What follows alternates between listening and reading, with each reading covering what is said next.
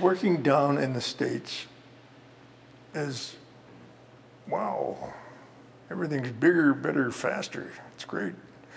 If you uh, go to a set, okay, you get your own driver to go to your set with. And, uh, they come pick you up at the hotel and take you there. Same in Canada, but uh, you're, uh, hey, you have a dedicated driver to take you. They make sure you know where you're going.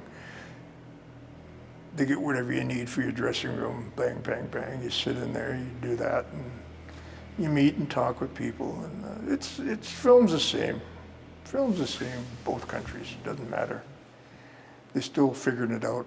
Still trying to reinvent the wheel and realizing that it was best when it was round. It worked better that way instead of triangular or square, or cut corners. But now the difficulty lies in all these different platforms that are stepping into the business, the, uh, the pay platforms, um,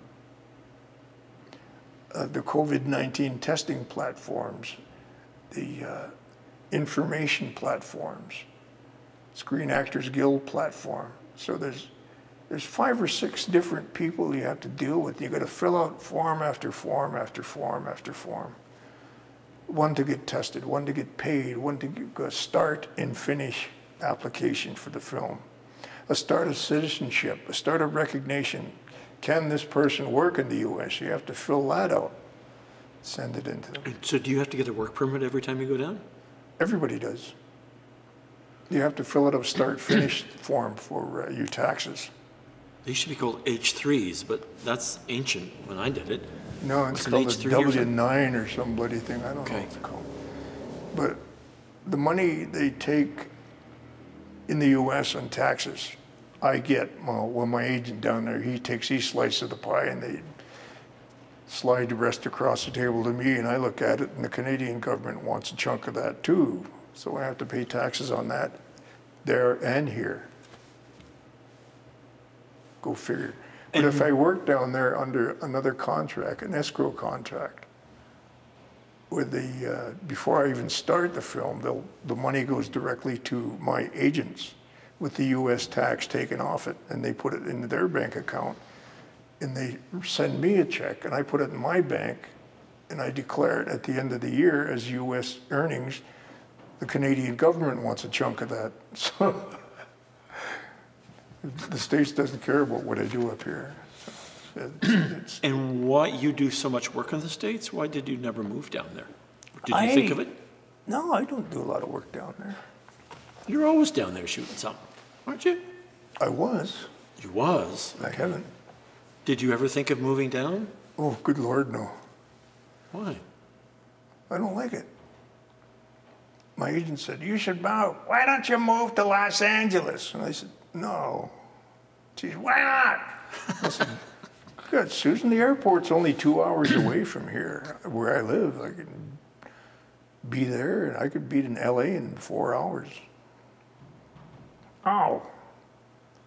So don't have to do this stuff. Now, now they brought in the taping thing, which totally disgusted me. Instead of sitting there talking with somebody, you, I think they brought it out the same time as the tellers at the banks where they had to look at the TV screen and talk to somebody sitting in the other room.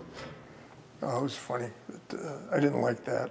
Does that mean you're a Canadian, I hate to use this frame, a Canadian nationalist? That you wouldn't move down, or you just like where you live here? I'm a North American naturalist, a, a citizen of planet Earth. Doesn't matter. I lived here, I lived in England, I lived in South America. Far yeah, away but you could British have a Columbia. big pool. If you're in LA, you could have a big pool. You go to big parties. You no, could I go don't. to the beach. Come on, Graham. No, I don't.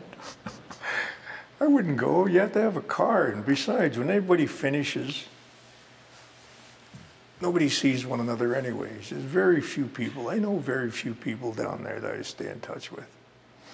And they're genuine people. The rest are, my agent, she, would, she went down just for fun to an agents convention in Los Angeles for the U.S. agents. They all gathered and they have their annual drunken piss up down there. And She said, the backstabbing and name calling and smiling these people do at one another, they'll smile at you and the next minute they're cutting you to pieces.